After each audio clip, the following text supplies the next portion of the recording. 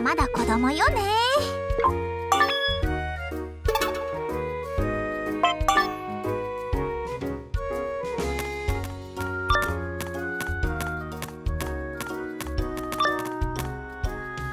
次男帰るのか？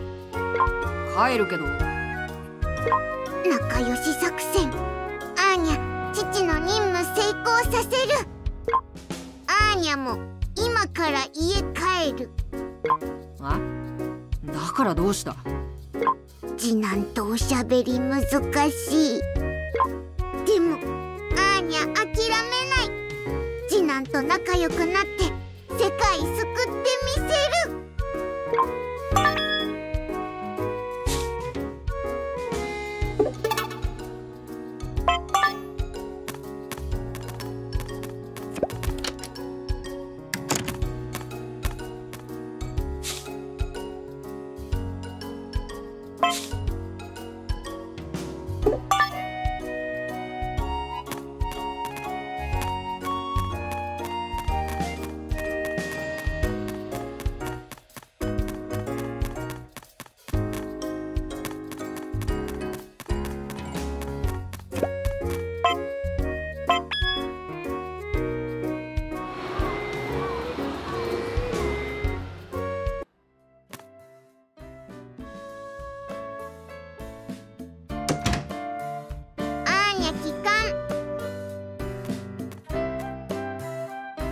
おかえり。おかえりなさい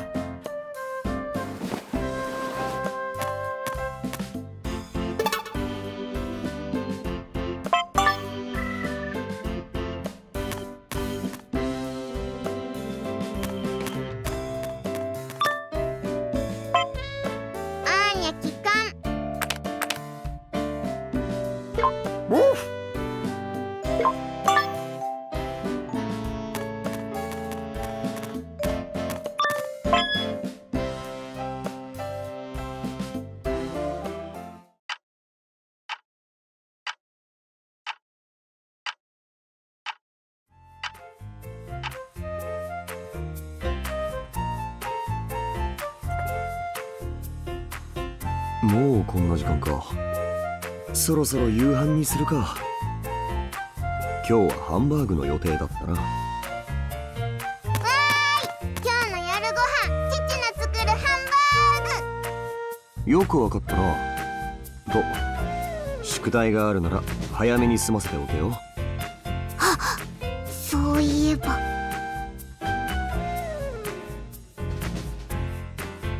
ではヨロさん僕は夕飯の準備をしますね。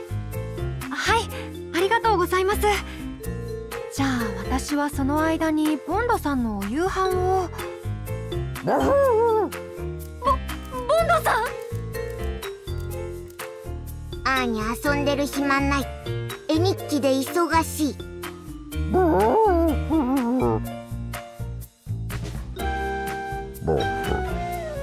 絵日記が宿題なのか何を書くんだ？それに悩んでいる。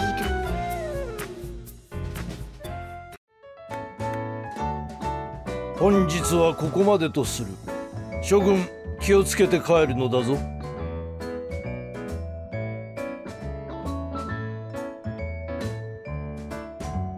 アーニャちゃん課題で出た絵日記だけど何書くの？アーニャすごい絵日記書くそれってどういう絵日記なの？次男はどんなの書く？あ？絵日記？なんでそんなやつに聞くのよ。どんなの書こうが関係ねえだろ。安く喋りかけんな。すごい絵日記書いたら次男にも見せてやる。すごい絵日記？庶民のすごいなんて大したことねえだろ。そうだそうだちょっと。実際大したことなくてもアーニャちゃんにとってはすごいものなのかもしれないでしょ？はっってことがあった。そそうか。それにしても絵日記なんてすごいも何もないだろう。そもそも絵日記はその日の出来事を絵と文章で表現させてアウトプットの強化を図りつつ教師が生徒の日常の把握を父難しいこと言ってる。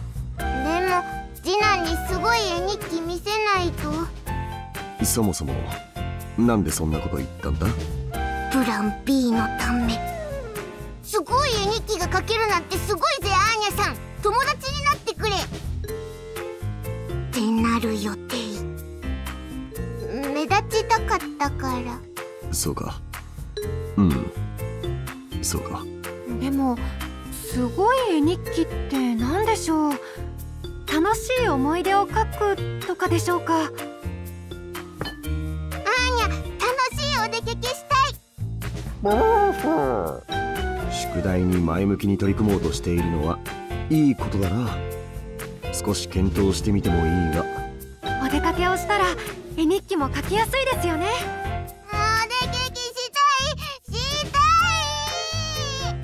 わかったわかった。それじゃどこに出かけるか決めるとするか。ボ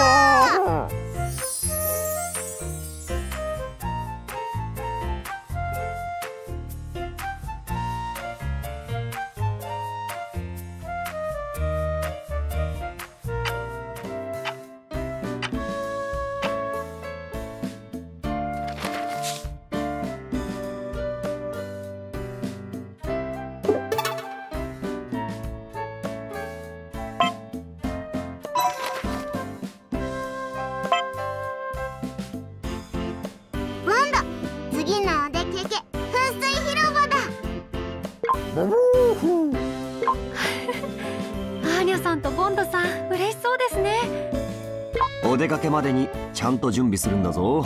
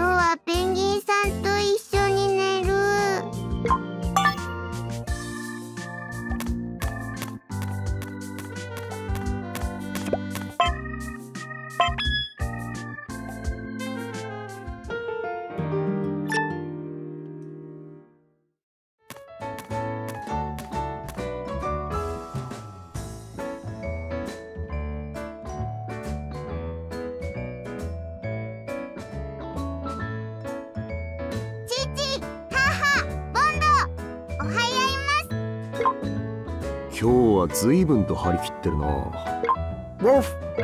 おはようございますアーニャさん。いいお天気ですね。母今日はずっと晴れ？そうですね。見たところ雲はなさそうですが。